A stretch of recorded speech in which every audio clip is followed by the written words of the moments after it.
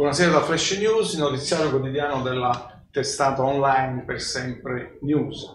La notizia del giorno è il eh, ritorno in classe per quanto riguarda gli studenti della primaria e della secondaria tra Napoli e Campania. Infatti che cosa è accaduto? Nel pomeriggio il TAR, il Tribunale Amministrativo eh, regionale ha accolto il ricorso presentato dall'associazione di genitori e, familiari degli studenti perché venisse in qualche modo annullato il eh, decreto eh, firmato dal, nei giorni scorsi dal Presidente della Regione Campania, Vincenzo De Luca, che per motivi di emergenza sanitaria aveva disposto appunto il ripristino della didattica a distanza. Un provvedimento che fin dai primi minuti del suo varo aveva suscitato, sollevato polemiche non soltanto eh, tra le famiglie dei piccoli studenti, ma anche eh, tra gli studenti delle scuole eh, superiori, in quanto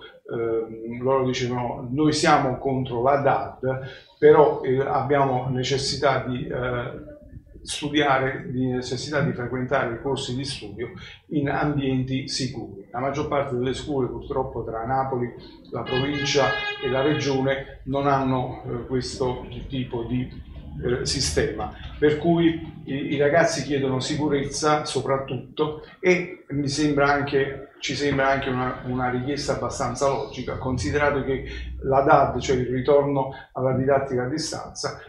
e significa fare un passo, anzi due passi indietro, perché si ritorna nel, eh, a un anno fa, un anno e mezzo fa, quando si era nel pieno della pandemia, quando non ancora si parlava di eh, seconda ondata, terza ondata, quarta ondata. Adesso c'è la variante Omicron che si sta eh, estendendo, espandendo, Ehm, la stessa sanità incomincia a, avere problemi, eh, mentre un anno, un anno e mezzo fa c'erano più hub eh, vaccinali aperti, adesso ce ne sono soltanto due, quello verso il Lorito Mare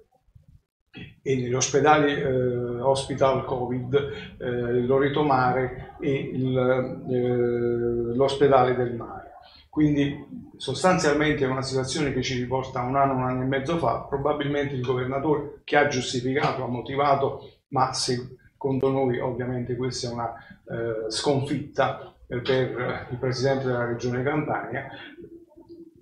contro la cui decisione si era posto anche il governo e lo stesso ministro alla pubblica istruzione Bianchi. Insomma, la Regione Campania era l'unica ad aver eh, deciso di il ritorno alla didattica a distanza e eh, adesso con la sentenza del, con il ricorso accolto dal TAR, con il ritorno in classe, la Campania è, si mette alla stregua delle altre regioni. Vediamo nelle prossime ore che cosa accadrà, però sicuramente De Luca eh, punterà i piedi, non sappiamo che cosa accadrà, comunque è tutta una battaglia da vedere e da vivere. Grazie per essere stati con noi, eh, buonasera da Flash News, il notiziario quotidiano per sempre news.